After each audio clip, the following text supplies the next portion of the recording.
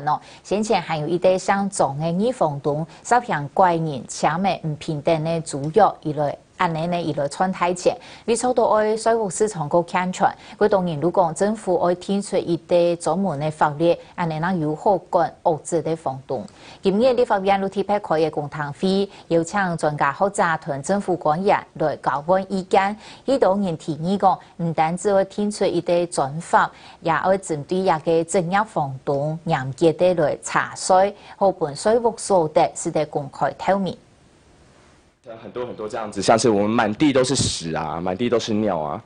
大家年快一万，需要条平台嘅套房，冇上多少需要到一间，所以种偏数是为饮水嘅建房。目前唔系负责来讲，恢复间屎尿臭胖胖，更加是得亏钱代理管。除了那个目前，同样时间复旧，前冇人退休，更系因此参加系冇平等嘅主角。专家是建议应该立专法来保障送风权益。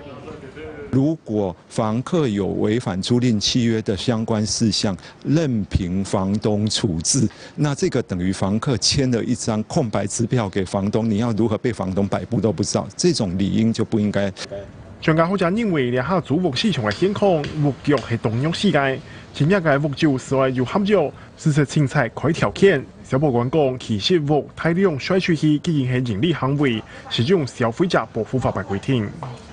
张小姐，那她基本上根本就不是一个所谓的偶一为之的情况，她就是以此为这个租赁的行业，它本来来讲，目前来讲就是用消保法相关规范的一个呃限制跟适用。除了消法规范，专家好加建议，我解决安尼个问题，先根本嘅系应该对开始查。以后在网站上自己租赁的部分被骗了、被诈欺了，都是在这边做 C to C 网站上没有严格的规范。